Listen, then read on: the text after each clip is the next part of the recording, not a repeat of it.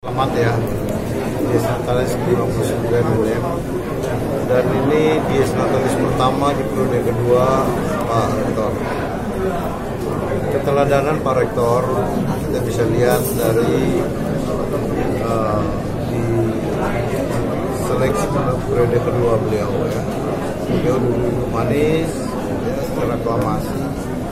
Karena ada legacy Nah, yang kedua, saya juga berterima kasih karena Pak Rektor terus memberikan support kepada pemerintah provinsi, terutama bagaimana kita bersinergi.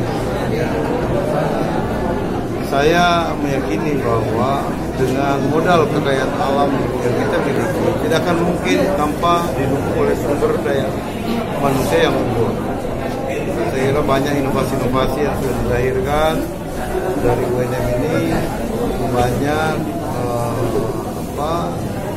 SDM SDM yang sudah betul-betul uh, berbakti bukan hanya di Sulawesi Selatan tapi di seluruh Indonesia.